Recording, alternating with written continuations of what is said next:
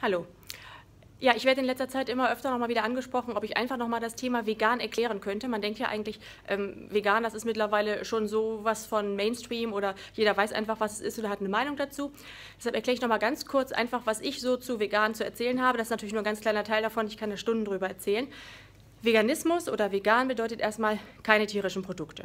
Also kein Fisch, kein Fleisch, keine Milchprodukte, keine Eier, keine Wolle, kein Leder, keine Seide, kein Honig, natürlich auch keine ähm, Medikamente oder Kosmetik aus Tierversuchen, dann ist man schon mal eigentlich ähm, ja, mit vegan recht gut auf der guten Seite. Es gibt noch viele andere ähm, Ideen, die Leute dazu haben, aber das ist jetzt erstmal so meine Definition von vegan.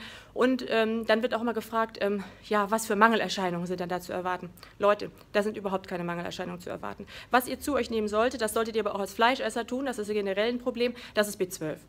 Manche Leute haben auch Eisenmangel. Da kann man auch noch Eisentabletten irgendwie dazu nehmen. Bei mir war es aber zum Beispiel so, ich hatte früher ganz eklatanten Eisenmangel und da habe ich alles gegessen. Ich habe Fleisch gegessen, ich habe Fisch gegessen, ich habe Fleisch sogar roh gegessen und trotzdem hatte ich ganz, ganz schlechte Eisenwerte und seitdem ich mich vegan ernähre, sind meine Eisenwerte gut.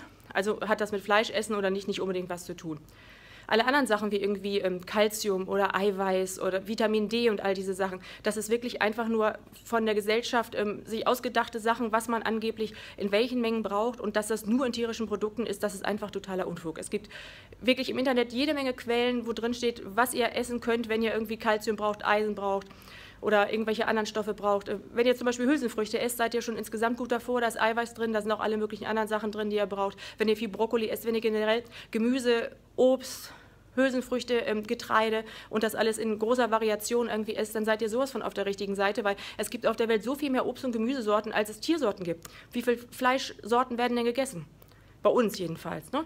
Rind, Schwein, Huhn, Lamm und noch ein bisschen Fisch. Das sind dann irgendwie vier, fünf Tiere, die gegessen werden. Es gibt aber tausende von Gemüsesorten. Und da will mir denn jemand erzählen, dass diese paar Fleischsorten gesünder sind als alles Obst und Gemüse dieser Welt? das ist doch Quatsch. Genau. Und ihr tut nicht nur was Gutes für euch und für eure Gesundheit, weil zum Beispiel viele Krankheiten sind wirklich ernährungsassoziiert. Was ihr zum Beispiel esst, hoher Blutdruck, Diabetes 2, alle Herz-Kreislauf-Erkrankungen eigentlich insgesamt, Übergewicht, Gicht, auch Arthrose. Viele, viele Sachen sind wirklich assoziiert mit Ernährung. Wenn ihr euch richtig ernährt, dann könnt ihr viele von diesen Krankheiten entweder gar nicht erst bekommen oder wirklich im Zaum halten. Auch zum Beispiel Krebs. Äh, wodurch wachsen Tumorzellen? Tumorzellen wachsen vor allem auch gern durch Caseine. Caseine sind in Milchprodukten, vor allem in Käse. Wenn das interessiert, der guckt einfach sich die China Study von Dr. Colin Campbell nochmal an. Da kann man wirklich alles ganz genau nachlesen. Das ist wirklich sehr wissenschaftlich geschrieben und über Jahrzehnte auch recherchiert mit verschiedenen Bevölkerungsgruppen, Bevölkerungsgruppen in China. Da könnt ihr wirklich gucken, was könnt ihr alles verhindern, welche Krankheiten könnt ihr verhindern, wie könnt ihr das machen und wie funktioniert das alles. Wer sich auch dafür interessiert, wie überhaupt Studien gemacht werden und wie auch in dieser Welt betrogen wird und was einem alles eingeredet wird, was nicht stimmt, kann auch das Buch Interessen von Dr. Colin Campbell nochmal lesen, da steht das auch nochmal ganz toll erklärt.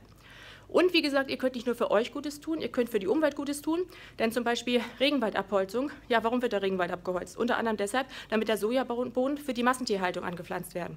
90 Prozent der weltweiten Sojaernte und 50 Prozent der weltweiten Weizenernte landen nämlich in der Massentierhaltung. Da habt ihr schon mal Schönes getan. Ihr könnt Wasser sparen.